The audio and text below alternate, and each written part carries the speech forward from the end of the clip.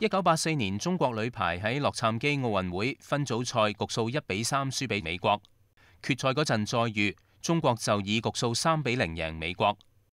重温中国女排主攻手郎平当年翻返北京之后对嗰两场比赛嘅睇法。第一场嘅时候，看见就是中国女排就是经常在领先嘅时候输输球了。你当时心情怎么样？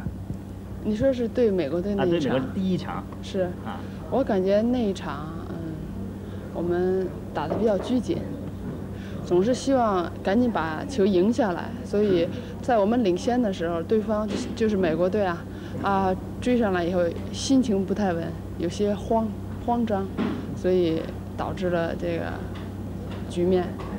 然后说第二场为什么赢得那么轻松呢？